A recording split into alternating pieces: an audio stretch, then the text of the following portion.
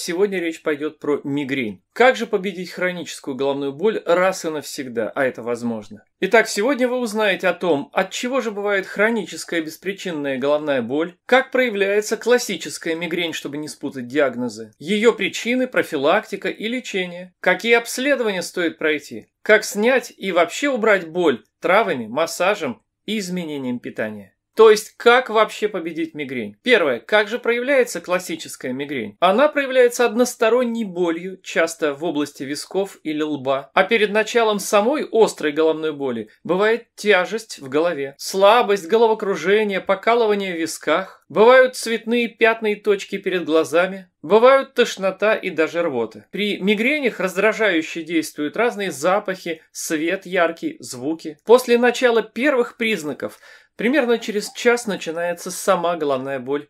Очень четкая, понятная, характерная. То есть сам приступ. Эти боли могут длиться от двух часов до трех суток к ряду. При этом могут быть или усиливаться тошнота и рвота. Сейчас я вам скажу то, что в принципе практически никакие врачи, за редким исключением, не знают и не говорят. Мигрень это не что иное, как начальная стадия, как хроническая стадия менингита. Безусловно, это воспаление. Если у вас что-то болит, значит где-то идет какое-то воспаление, по-другому не бывает. Боль – это проявление какого-то воспаления в организме, в данном случае в головном мозге. И, конечно же, это начальная стадия менингита. Запомните, если нет в организме воспалений, то ничего и нигде не может болеть. А как убрать воспаление в организме? Есть ли какая-то универсальная формула? Да, есть. Есть три способа, которые надо применять в комплексе для того, чтобы снять любое воспаление. Об этом я скажу вам чуть далее. Итак, при мигрени ваш терапевт назначит вам невропатолога.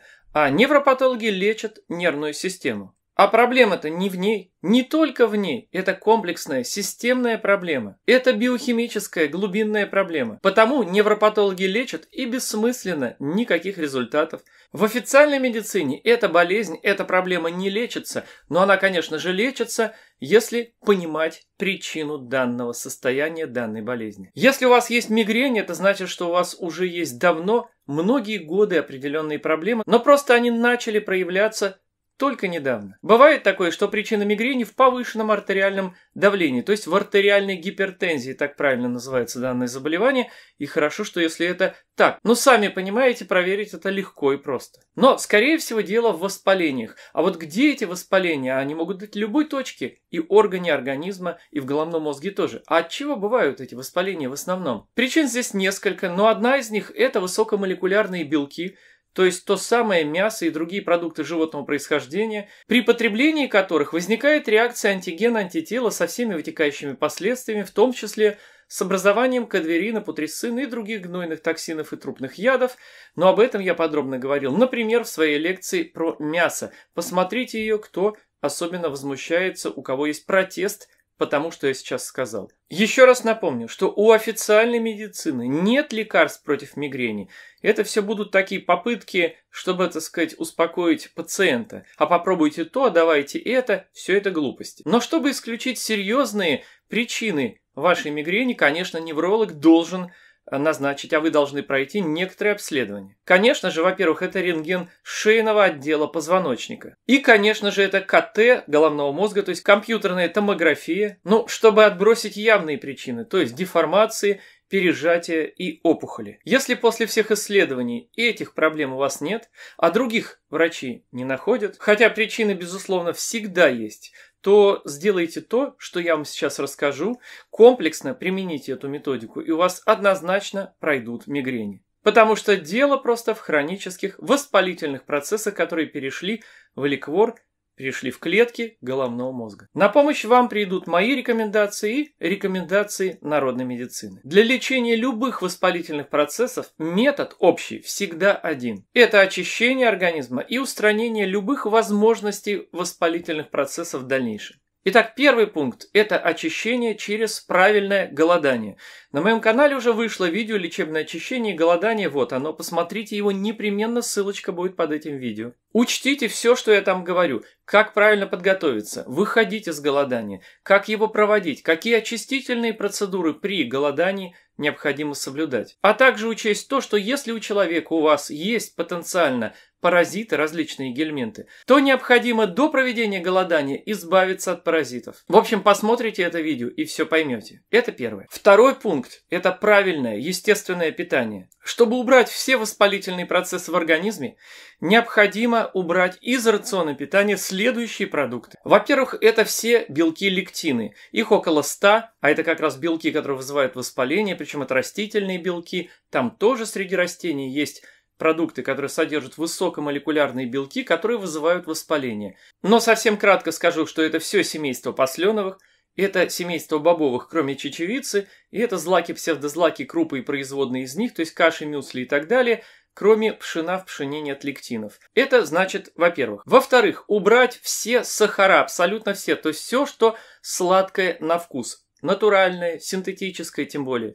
Обязательно. Тогда вы сами увидите результаты, которые не заставят себя долго ждать, и даже через неделю-две вы уже не будете испытывать никаких болей в области головы. И третье – это молоко и молочные продукты, кроме жирных составляющих, то есть кроме сливочного масла, жирной сметаны и сливок – и это, с точки зрения биохимии, можно есть. А все, что содержит молочный белок казеин, в первую очередь сыр, на втором месте творог, на третьем молоко, цельное, категорически исключить из рациона питания. Ну а по молоку, если захотите понять, посмотрите вот это мое видео о молоке. Ну и третий пункт. А обязательно посмотрите мое видео «Интервальное голодание». К этому в идеале надо прийти. Это очень просто. Там я объясняю пошагово, как прийти к правильному интервальному голоданию. И тогда у вас будет два уникальных эффекта.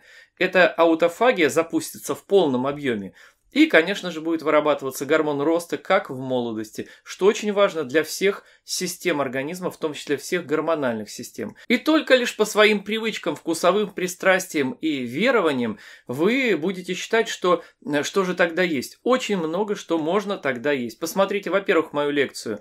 Вот кето-питание, веганская кето-диета, где я все это поясняю. Посмотрите мое видео про калории, Посмотрите мое видео про интервальное голодание в конце концов. Итак, не переживайте за еду. Будет вам достаточно и для энергии, и для построения новых клеток, и для силы и выносливости и так далее. Но главное, если вы перейдете на этот тип питания и четко будете его соблюдать, не будете включать в пищу, то есть уберете из рациона вот эти так называемые продукты, то вы сами увидите, что через неделю, у кого-то через две, но в самых тяжелых случаях через три недели у вас не будет больше головных болей, у вас пройдет мигрень. Это же несложно проверить, помучиться недельку, две, три. Но это для тех, кто абсолютно не верит, считает, что все это ерунда. Так вы проверьте, а потом говорите, ерунда или не ерунда. И может быть тогда вы задумаетесь, от чего же это верно было? Почему мои слова были абсолютно истинны? Каковы же здесь предпосылки биологические, биохимические? Ну а я в своих лекциях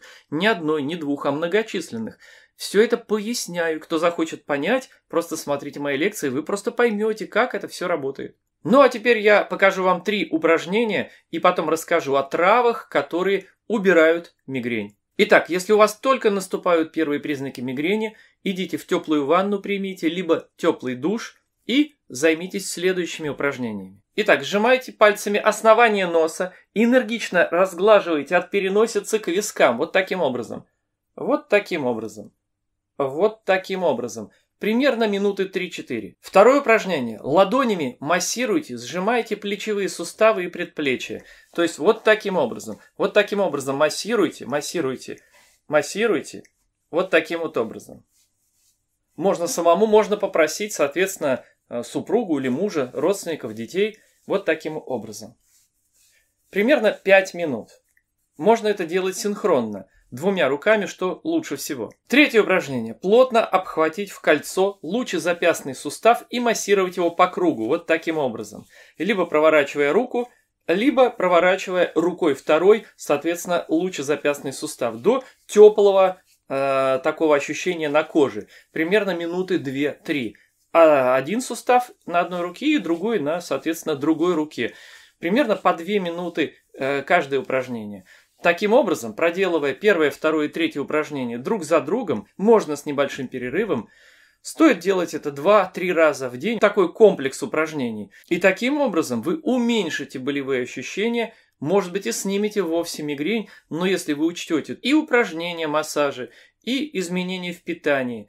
И, конечно же, то, что я сейчас скажу о травах, тогда не может быть ни одного шанса, чтобы вы не избавились от мигрени. Советую применять данные методики, которые я вам сейчас дал, и еще дам в комплексе. Кстати, есть еще такое упражнение – делать плавные движения руками типа козьбы. Ну, как кошение травы ручной косой. Есть еще один народный рецепт, что если боль не стихает после упражнений данных, которые я вам сейчас сказал, то нужно перевязать голову полотенцем, причем это сделать довольно-таки плотно. Иногда это очень помогает. Тут поймите, главное на первых порах а, убрать болевые ощущения, а дальше время нужно, неделю, две, три, так что ничего страшного. Коли вы терпели очень долго, можно потерпеть еще немного. Еще один важный момент. Для рук и ног я советую делать теплые ванны с порошком горчицы. Ну а теперь про народную медицину в плане фитотерапии, то есть лечения травами. Возьмите две столовые ложки горецвета весеннего и закиньте в термос, залейте 0,5 литра горячей воды градусов 75-80 и примерно час нужно это все настоять. Но потом процедив пить по одной четверти стакана до еды примерно за 10, 20, 30 можно минут до еды а в течение дня, чтобы за один день выпить все эти пол-литра настоя. Еще очень хорошее средство следующее. Мало ли вы не найдете одну траву или другую, так вот вам другой рецепт. Возьмите 2 столовые ложки измельченной сухой петрушки, залейте тоже пол-литрами горячей воды градусов 80, настоять час и пить по полстакана 3-4 раза в день. Или еще один вариант, который тоже не менее значимый и ценный, действенный, это взять 2 столовые ложки ягод можжевельника, залить в термосе тоже полулитрами воды горячей 80 градусов, настоять примерно 2 часа и пить по полстакана до еды, пока не выпьете эти пол-литра в этот день. Все эти три варианта можно между собой сочетать, совмещать. Например, три дня один, три дня другой, три третий. Ну и посмотрите, какой более эффективен будет лично вам. Кстати, очень хорошо при мигрени мыть голову отваром листьев хрена. Просто горячей водой, но не кипятком заливаете мелко нарубленные листья хрена, примерно килограмм на литр, ну и минут 40 надо, чтобы это все постояло. Кто-то посмеется этому методу следующему, но в народной медицине он есть, и он показал свою эффективность. Можно взять репчатый обычный лук, разрезать пополам и приложить половину к колбу и к вискам, смотря где болит, и завязать повязкой. Лук в пищу обязательно вводите, в салаты, например. Еще один метод, который, кстати, можно применять вполне параллельно, то есть совместно, это к пяткам приложить горчишники. А что касается чая, если вы не хотите применять другие методы, а вам достаточно и помогают упражнения, то есть массажи и смена питания, то вы можете просто пить чаи такие, в составе которых есть мята, зверобой, душица. Кстати, очень хорошо перед сном такой состав расслабляет. Естественно, убирайте из своей жизни стрессы, они пагубно скажутся на проявлениях мигрени. Кстати, для профилактики приступов мигрени, потом, в дальнейшем, я рекомендую в один стакан теплой воды добавлять по одной, две лучше чайные ложки натурального яблочного уксуса и пить прямо перед едой, но, скажем так, в течение одного-двух месяцев. Впрочем, про яблочный уксус у меня уже было видео на моем канале, непременно его посмотрите, кто еще не видел, оно очень важное и ценное. Я вам говорил уже один хороший вариант про мытье головы отваром из листьев хрена, а есть второй вариант, очень хороший также. Это промывать голову настоем травы душицы. Когда горсть сухой измельченной травы закладывается на пол-литра горячей воды, часа три настаивается и промывается. При промывке хорошо втирайте в кожу головы, массируйте кожу головы, соответственно, и в первом, и во втором варианте. Ну и сейчас завершение, буквально на две минуты, реклама от меня. Моих продуктов, товаров, а не чьих-то других, как это делают блогеры, ну ради заработка. Товаров, за которые я отвечаю лично, которые укрепляют здоровье и продлевают жизнь. А также будет информация, как купить, заказать наши товары не только жителям России, но и тем, кто проживает за границей в любых странах мира. Слушайте. Уважаемые зрители, всем, кому дорого свое здоровье и своих близких, заходите на мой сайт nadgar.ru, посмотрите хотя бы два раздела «Отзывы» и «Новинки». Ну а потом то, что вы захотите. Так вот, любые наши продукты, приборы и другие товары – вы можете заказать на нашем сайте, мы вам их отправим в любые города России и любые страны мира. От Казахстана до Великобритании, от Кореи до США. Все это налажено, обо всем сказано на нашем сайте в разделе «Доставка и оплата». Поэтому заходите, посмотрите, ну и заказывайте, кто посчитает это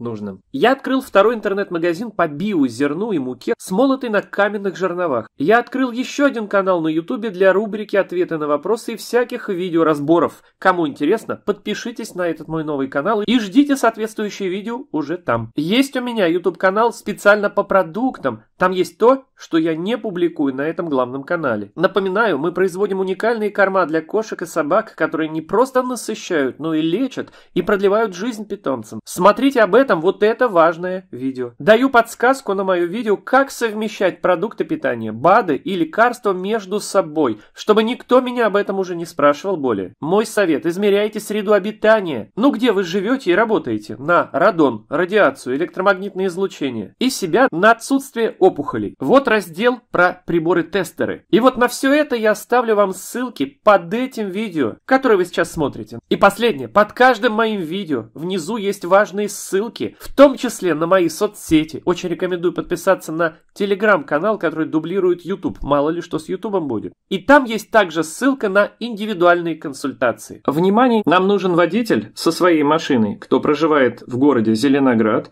либо близко от него, то есть Лобня, Химки, Красногорск, пожалуйста, пишите. Под этим видео будет оставлена почта, куда вы можете написать в произвольной форме, что вы заинтересованы предложением работы водителем. То есть развозить заказы наших клиентов по Москве и в транспортные компании для отправки в другие города и страны мира. Разумеется, человек должен быть нашего мира и мировоззрения, то есть не употребляющий алкоголь, не курящий, ну и очень желательно веган. Ждем от вас заявки. Ну что ж, до новых встреч, до новых видео, всего хорошего, до свидания.